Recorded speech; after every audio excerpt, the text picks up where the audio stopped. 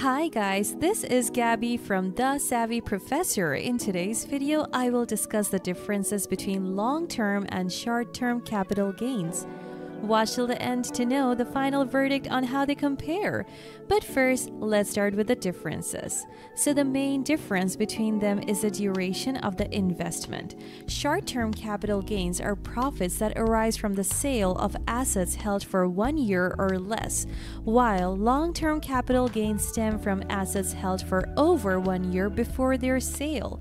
While short term gains are taxed at higher ordinary income rates, long term gain benefit benefit from more favorable tax treatment, potentially providing tax advantages for investors who retain assets over extended periods.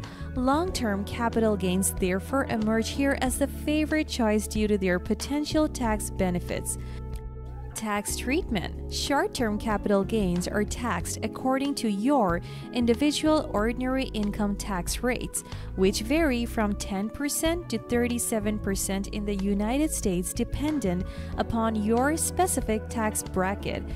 This implies that these gains are subject to taxation at the same rates as wages, salaries, and other forms of ordinary income. In contrast, long term capital gains incur a lesser tax burden. In the US, the tax rate spans from 0% to 20% depending on your income level and filing status. Individuals with lower incomes may be eligible for a 0% tax rate. Therefore, long term gains win in this category, as they offer significant advantages in taxation. Impact on investment returns. High tax rates on short term capital gains may substantially reduce your investment returns if you are an investor in a higher tax bracket. Conversely, lower tax rates on long term capital gains have the potential to enhance your investment returns, enabling you to retain a greater portion of your profits after taxation. Long term capital gains therefore have a higher opportunity for greater after tax returns. But do they have any similarities? Yes, they are similar in that they represent profits earned from selling assets or other investments. In addition, they both contribute to your investment returns, potentially increasing the overall value of your portfolio.